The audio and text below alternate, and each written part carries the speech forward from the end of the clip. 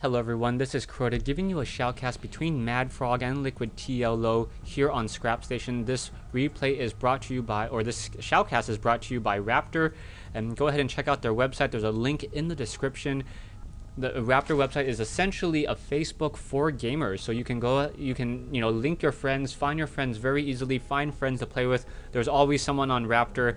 There's so, always someone on Raptr so much that I have to close Raptr whenever I do any shoutcasting. Otherwise, a lot of people keep on popping up as I have a lot of friends on Raptr since I introduced my name on Raptr. Over here we have Liquid TLO spawning as the purple Terran player and Mad Frog spawning as the blue Zerg player. One additional announcement, I am now a director or I'm a content provider for Machinima. So go ahead and check out some Machinima, the Machinima website. I think it's going to be posted on Machinima Respawn and you will be able to see some of those matches over there as well. Should be fairly interesting or should be interesting. Hopefully you guys can, I can get more exposure as well and then be able to support my family better.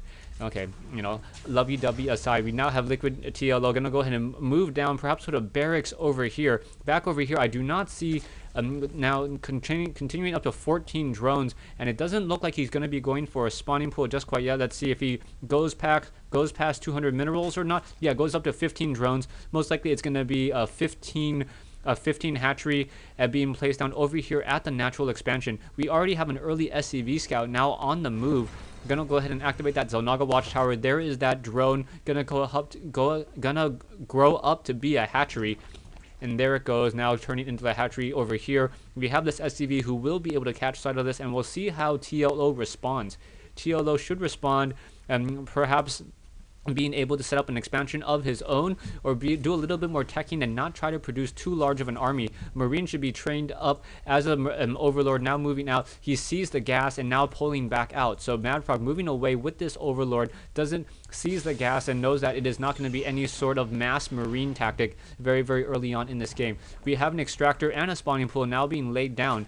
So we should probably get some early gas, maybe some metabolic ling boost as a marine now pops out underneath this overlord. Overlord now shooting down um, gonna get shot down by this? No marine no of course not. Only one marine. Overlord will be able to escape very easily down to 85 79 hit points but that marine is now out of range. Second marine now being trained up. Overlord trying to get right in within that position. Perhaps thinks it can get down over here but most likely will not be able to get anywhere as a factory now being laid down. So very important to get this um, try to make this choke point a little bit smaller as a Terran player. Terran players do not really want to fight out in the open. They want to fight like the Spartans, you know, very, very small choke points, very be able to very hold a very, very solid line of defense, a good defense, and uh, as opposed to a hundred Zerglings trying to rush up this ramp in a single file line, will just get shot down by Marines and maybe one even one Hellion. Back over here, Mad Frog now training up another queen and a queen over here as well. So double queens now being trained as we have some drones being transferred over to try to get at the most out of the mineral mining. If we take a look at this, we should probably see exactly 16 drones. Oh, oh, only 14 drones. So two more drones can fit here and then should start being trained over here as well. So now we should have a queen gonna go ahead and spawn larva. No, gonna drop a creep tumor. So an early creep tumor coming in from Mad Frog, realizing that he doesn't have the economy to constantly um, produce these drones. SCV now moving out. We have Hellions and Marines still being trained as we go into a starport. So this may be a Marine Hellion um, a push into a starport Banshee harassment. That's the only reason why I can see you would go for double gas. Double gas and then Marines and Hellions and, and only train Marine and Hellions and no tech labs on any of those buildings. I'm, I'm assuming at some point tech labs need to be laid down if he really wants to do with that strategy. As Hellions now working their way over, there is one spine crawler being built there and one spine crawler being put there as well. So that Zergling or that one Hellion trying to test the waters will not be able to really do anything as one Hellion coming out, going to get another splash, getting another um, line of splash attack over here. Perhaps try to take down this destructible rock. No, not going to be able to as there are double spine crawlers but Mad Frog did lose two drones creating those spine crawlers, so still a very, very nice thing there. We all, we have a medevac now being trained up. It looks like the tech lab was momentarily placed down, and now a fusion core going down. So a fusion core, a very, very early fusion core going down, so we may get early battle cruisers. That would definitely be a, a, a, large surprise on my part as we now have a starport coming in and a second barracks being laid down. Perfect timing. One Hellion trying to, or three Hellions now able to hold off that wall. SCV was taken out and needs another SCV to, uh, to continue to repair this barracks. And wow, that's absolutely critical. Four Hellions now into that starport. Fusion core is going to be finished in just a moment. Tech lab now thrown down and going into going into battle cruisers. That is a definite surprise. TLO going rushing battle cruisers with a Hellion harass should be great as now we're going to have these um, Hellions drop down here and then moved over, making sure to keep all four of those Hellions very, very tight together as that splash damage is so critical. Uh, getting a lot of those Zerglings together and pulling away and now once again into that medevac. That medevac now going to go ahead and perhaps try to do a drop over here. A Queen already in response and now those Zerglings quickly moving back, trying to, trying to, um, get within that position. We'll see two Hellions quickly dropped down, and now using that high ground. Oh, nicely done! Using the high ground against those um, against those units, and now using the uh, once again using the um, using that movement speed of that of, of those Hellions. Very nicely done. As now that medevac popping back up, one queen back here waiting for that Hellion. However, the battle cruiser nearing completion, and that once that battle cruiser comes into play, that may be GG. As there's only queens so far. I do not see any spires um, any Spire or any sort of Hydralisk coming in. Drones now continue to move around. TLO will be forced to drop down that medevac, perhaps try to get another repair off. Army-wise, um, Liquid TLO, this one medevac um, composes of, what, 5, 500 of that whole entire army. And now here comes one battle cruiser. The battle cruiser with its 10 damage per shot. Very, very uh, fast attack speed. Um, essentially doing almost 50 damage a second, I believe yeah, dealing almost dealing 50 damage a second, and will be able to uh, start dealing a lot of damage here. Spire now going into play. That Queen will not be able to deal with that very, very thick Terran plating armor of three armor and a battle cruiser rush pushing in, and these drones are going to have a very, very horrible day. How do you stop this battle cruiser? Spine crawler and now going to get shot down there, or Spire going to get shot down, and battle cruiser taking care of that Spire very easily. Queen's coming over. Hell, for some reason, Zergling's getting underneath, but not going to be able to handle this as this battle cruiser with that very, very thick Terran plating armor coming in, just able to soak up so much damage, no transfusion, and one transfusion, now going after one that has maximum energy, another transfusion, no, no transfusion. Madfrog losing, may lose this queen as this battle cruiser coming in, and I do not see any evolution chambers. A Hydralisk and now coming in as battle cruiser getting three kills, gonna get up to four, five kills very, very easily, continuing to shoot,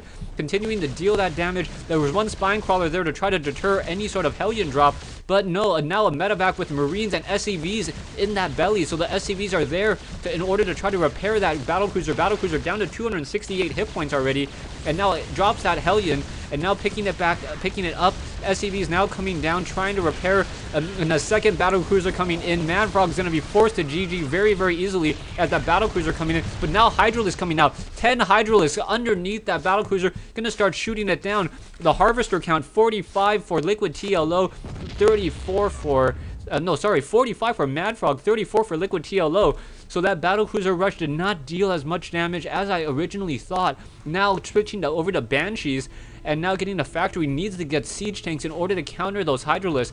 Uh, now quickly making their way over here to, the, to these destructible rocks attacking very, very quickly, an attack speed of 0.83 so um, almost like a 15 damage per second. So their damage per second, um, a 3 Hydralisk is almost the same as the damage per second um, on a battle cruiser. So that's how um, powerful Hydralisks are over here, we now have uh, Orbital Command moving into position over here, but um, I do not think the army of Madfrog is going, or uh, Madfrog, um, well, the army of uh, Madfrog will be able to just simply roll over the army of Liquid TLO. There's one Banshee in play, and now some Marines, but needs to get down some bunkers, but those bunkers are going to be too little, too late, as SCVs now getting torn apart, SCVs now being transferred over, but now this is going to be really, really painful. Siege Tech not yet researched, expansion down here needs to be lifted up and brought over here. As soon as if this Hydralisk are able to take down this orbital command, that's going to be a very, very, very bad. There is one siege tank, siege tank nearing completion. A second siege tank getting trained up and gonna gonna be um, gonna be able to um, get in position. There is one ban another banshee coming in. That where where is that other banshee that I saw earlier? Hellions now trying to come in. Siege tank pulling back needs uh, no, that siege tank in siege mode is gonna get torn apart, and not enough marines and Hydralisk to really be able to handle this. That Siege Tank with that army of SCVs, though, we'll, um, we'll have to try to focus fire that unit. Another Siege Tank coming over, so greatly, really well done by TLO. Where are those Banshees that I saw earlier? Well, Banshees do have Cloak, so that Banshee with Cloak now making their way, gonna go ahead and continue to shoot. We're gonna lose this one Siege Tank there, but that Banshee will be able to finish off a lot of these units over here. Marines once again pulling back, trying to kite a lot of these units, but in come Mutalisk, and Mutalisk are gonna destroy that Banshee very easily, take down this last siege tank, one bunker in position, and now this orbital command down to 200 hit points. I'm gonna lose this natural expansion, and this is gonna be very, very bad news indeed for TLO. Two siege tanks here, and a really, really calm play. Madfrog's quickly switching his tech from uh, from Zerglings to Mutalis and able to hold off that very, very aggressive battle cruiser. Now has, has four, will be able to run off of four bases. One SCV sitting in over there. Marines trying to make it over, run, running into this one bunker, but this bunker only has one Marine left. No Vikings being trained up. Well, Viking now being trained up, Marines being trained up, but really these five Mutalisks have, will have their go to town on this Terran base. Only four Marines trying to combat five Mutalisks. SCVs coming over, no Thors to be seen. One Viking gonna pop out, but the numbers of Mutalisks are will be able to simply destroy this whole entire base, making sure that there's no expansion over here. Out comes one Viking. Mutalisk should regroup and then perhaps re-engage and take on that fight over here. Army of TLO down to 400 minerals and 200 gas. Um, really, uh, one siege tank, one Viking, and and what three Marines or two Marines against the army of Mad Frog. Mad Frog now getting more and more Mutalisks sitting on 10 Mutalisks, able to continue to mine as many, a lot of minerals here. Mad Frog, for some reason, only one gas on his main base here, so that's the reason why he's so gas locked. Um, or back over here, we do have more mining of gas, and now perhaps should try to start mining some gas here, and now going to get some high yield minerals over here. Mutalisk now rushing on in. One Viking in position. Marines trying to hold off. Siege tank going to get destroyed by those Mutalisks. Viking, that last Viking trying to hold its own, trying to use that move and attack, shoot and scoot, but those Mutalisks with that faster movement speed. Thor now coming out to engage those Mutalisks another round, another volley of those javelin missiles. Javelin missiles able to push back this army of Mutalisks once again but will it will Liquid TLO be able to mount enough forces to really counter this and be able to deal some significant damage? Transfusion coming over, so Queen now healing up all of these Mutalisks. A great job. I really love the fact that um, Madfrog was using that to heal all of those. He should just call it a death coil for his gargoyles as he's so famous for um, gargoyles in Warcraft 3 Reign of Chaos. 10 Mutalisks is going to go ahead and re-engage here. Another Thor now being trained up, but no, Zerglings and Mutaling now quickly making their way in. That Thor without that extra armor, without that extra damage from the armory, going to get torn apart. And now, 10 Mutalisks forcing the GG out of Liquid TLO. Thanks for watching. Thanks for listening. A quick recap here. Liquid TLO doing a battle cruiser rush into the base of Madfrog was able to catch catch him fairly off guard, able to take down the Spire. Madfrog quickly realizing the situation he was in, used those queens, spawn larva, and then tried to soak up some of that damage from that battle cruiser. The battle cruiser firing very, very quickly against those queens, losing two of those queens. But as soon as that Hydralisk then was completed, was able to um, queue up and train up 10 Hydralisks in a matter of moments. That's the Zerg production value for you there. One building, and all of a sudden you're able to queue up 10 Hydralisks those 10 Hydralisks taking down those two battle cruisers very early. And Liquid TLO looked like he wanted to go, go to a Banshee start, but it didn't really work as um, Madfrog had already gotten three queens, and those three queens with transfusion are able to constantly heal each other very easily. Thanks for watching. Thanks for listening. I hope you guys enjoyed this 1v1 replay between Madfrog and TLO here on Scrap Station.